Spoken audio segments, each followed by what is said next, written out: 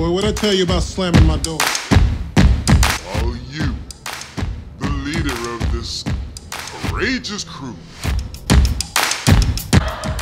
Okay, this just got a little weird. Step on it, you pathetic weakling! I honestly don't know. Oh, come on, you know why.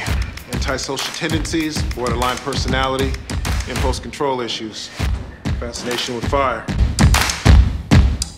Trying to make things better. Every day I am.